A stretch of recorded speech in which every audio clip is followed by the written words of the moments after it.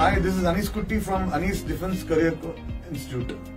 It's a 33-year-old uh, coaching institute, and we cater to children who wants to clear the defense competitive exams. And I'm proud to say, by the grace of Almighty, that five, 600 plus students are officers from our academy, and they're serving Indian Army, Navy, Air Force, both uh, through CDS, through NDA, through technical entry, through SSR, uh, and other different uh, competitive exam entrance for defense. We are associated with Policy Times and they are conducting a fantastic World Education Conference 2021 based on the new education policy 2020, how it will be implemented and taken forward. Uh, along with uh, Srinathar University, there are 60 plus eminent speakers.